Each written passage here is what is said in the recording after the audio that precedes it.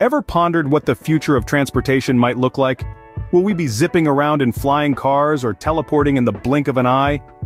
As we look at the current trends in transportation technology, it's clear that we're on the cusp of some serious innovation. From electric vehicles to autonomous driving, the landscape is shifting dramatically. But there's one concept that stands out from the rest, the Hyperloop. This futuristic transportation system promises to revolutionize travel as we know it, using pressurized tubes and magnetic levitation technology to propel capsules at ultra-fast speeds. Imagine, if you will, commuting between cities in mere minutes, not hours. Picture a world where distance is no longer a barrier to our daily lives. Intrigued? So how does this Hyperloop actually work? To understand the Hyperloop we need to first explore two key concepts, vacuum tubes and magnetic levitation. Let's break these down. First, the vacuum tubes. Now imagine you're trying to push a piece of paper through a straw. It's not too hard, right? But what if you were trying to push a whole wad of paper through the same straw? That's a lot more difficult. This is essentially the principle behind vacuum tubes. By sucking out most of the air inside the tube, it creates a near vacuum environment. This drastically reduces air resistance, making it easier for the capsule to travel through the tube, just like that single piece of paper through the straw. Next up, magnetic levitation or maglev for short. Now remember those times when you were a kid playing with magnets? If you tried to push two magnets together, they'd repel each other, right? That's essentially how maglev works. The Hyperloop capsule is outfitted with magnets, and the tube is lined with a series of other magnets. When the magnetic fields interact, they create a force that lifts the capsule off the tube's surface, allowing it to float. This eliminates friction, which would otherwise slow down the capsule, providing a smooth almost frictionless journey. So we've got a high-speed capsule floating in the air inside a near vacuum tube. Now to make the capsule move, an electric motor is used. This motor creates a magnetic field that propels the capsule forward. And because there's very little air resistance or friction to slow it down, the capsule can reach and maintain incredibly high speeds. But what about stopping? Well, the same electric motor that propels the capsule forward can also slow it down. By reversing the magnetic field, the motor can create a braking force, bringing the capsule to a smooth stop. So we've got a vacuum tube and a magnetically levitating capsule. Put them together, and what do you get? The Hyperloop. Imagine a capsule floating in a tube, zipping along at speeds faster than an airplane. Sounds like science fiction, right? But that's the Hyperloop. At the heart of this groundbreaking technology are two key components, vacuum tubes and magnetic levitation.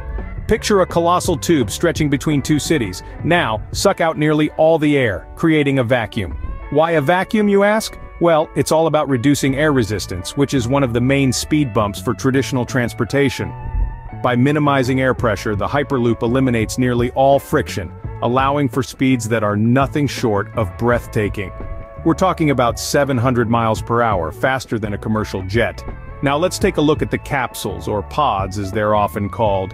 These pods are designed to be sleek and aerodynamic, further reducing any resistance, but how do they move, you might wonder? That's where magnetic levitation, or maglev technology comes in. The pods are equipped with magnets.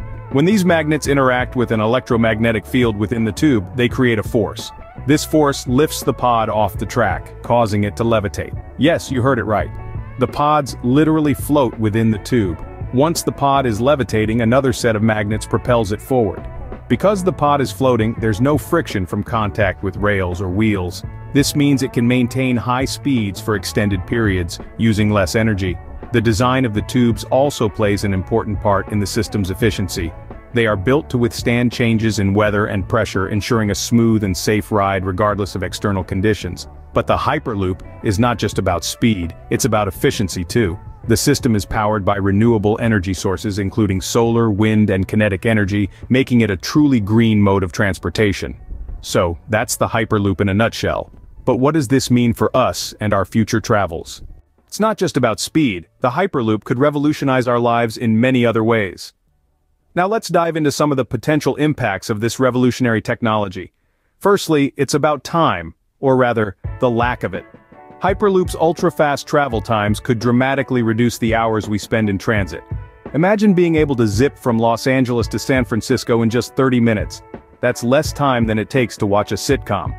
We're talking about turning hours-long commutes into mere minutes bringing cities closer together than ever before. This improved connectivity could have profound implications for where and how we live and work.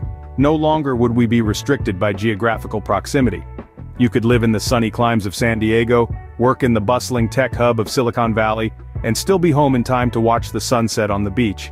This kind of flexibility could reshape our cities, our economies, and our lifestyles. Moreover, Hyperloop's magnetic levitation technology uses considerably less energy than traditional modes of transport, making it a greener option. This could help us reduce our carbon footprint and move towards a more sustainable future. But like any innovation, Hyperloop isn't without its challenges. Safety is a prime concern. How do we ensure passengers are safe while hurtling through tubes at over 700 miles per hour? And there are regulatory hurdles to overcome. Building the infrastructure for Hyperloop would require cooperation from various authorities and stakeholders, a daunting task to say the least. Despite these challenges, the potential benefits of Hyperloop are awe-inspiring. It's not just about getting from point A to point B faster, it's about redefining what's possible. It's about a future where we're no longer bound by distance or time. The Hyperloop promises a future where we can live in one city, work in another, and still be home in time for dinner. A future where distance is no longer a barrier. Sounds amazing, doesn't it? So, are you ready for the Hyperloop revolution?